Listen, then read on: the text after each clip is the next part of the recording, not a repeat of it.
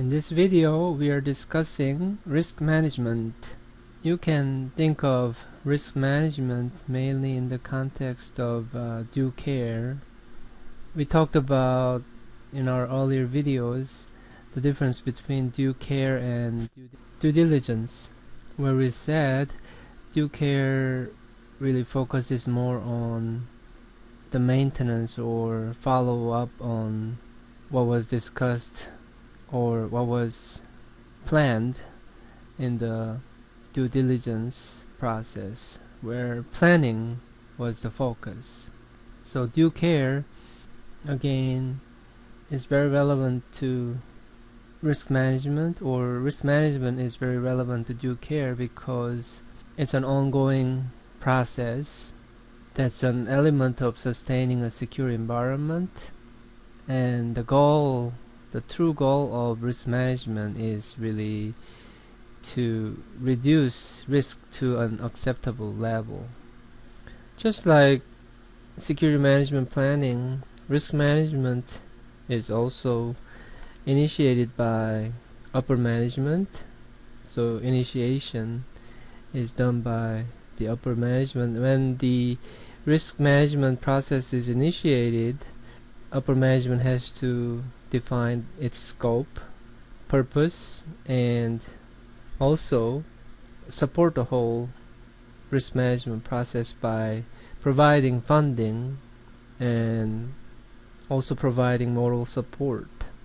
And finally, when there is this risk management plan finished and about to be executed, the upper management or senior management people have to approve the risk management plan.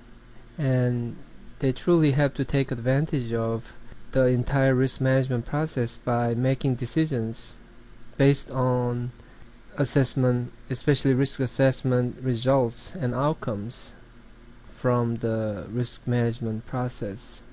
So that's pretty much the role of upper management. And what about the security professionals and practitioners. Their role is more about implementing this risk management process or plan.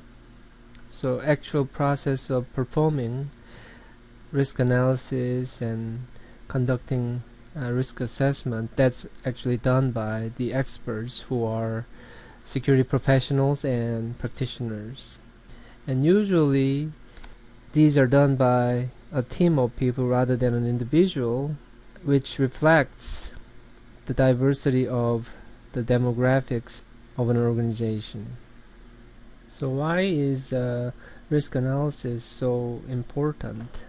The first reason has a lot to do with this uh, impossibility of removing all risks 100% because you are not able to remove all the risks out there you always have to think about what residual risks are out there and which is why a constant risk analysis is a necessity. So uh, this residual risk can be defined in terms of something called total risk which can be computed by considering threats vulnerabilities and asset value together and something called controls gap.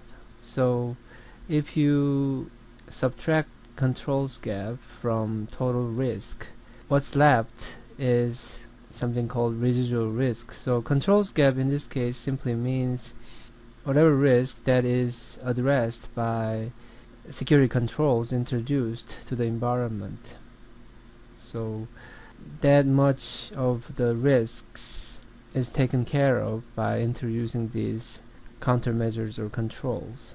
So that's why whatever is left after you're removing the risks by introducing these new controls, that's what's called residual risk. Another reason why risk analysis is so important is this necessity of prioritizing risks based on risk assessment. Because there's so many different types of risks out there you cannot address all these individual risks. So somehow you have to prioritize and decide which risk is the most important risk to address. So which risks are based on the assessment we decide which risks are actually either mitigated transferred or accepted and even rejected. So mitigation simply means by introducing a new control we reduce the risk. Transferring a risk means we are somehow letting somebody else take the risk from us. So a good example of this would be an insurance policy. And then accepting a risk means after risk assessment you decide that the risk is not worthy of your time and money so you're simply taking the risk by not doing anything. We have also this last item which is rejecting a risk and this could be probably the worst thing ever you could do because in this case although you are recognizing the risk somehow you're ignoring it and you're not even considering the risk or you're not even evaluating the risk. So you don't even know what kind of an impact it may have on your environment. So the ultimate goal of risk analysis is really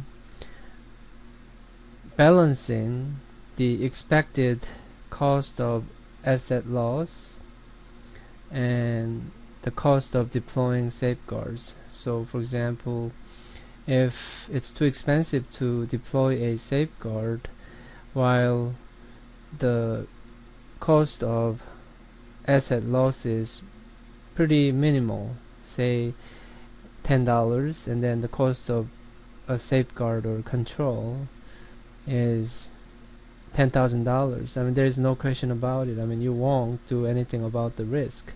However, the cost of deploying safeguards is relatively cheaper than the cost of asset loss.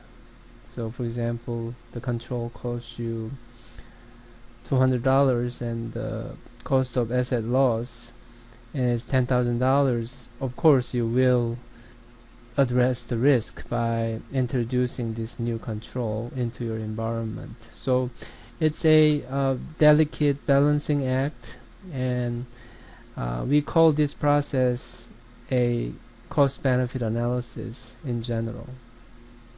So again this whole process can be viewed as cost benefit comparison process and only cost-effective countermeasures are deployed as we just discussed.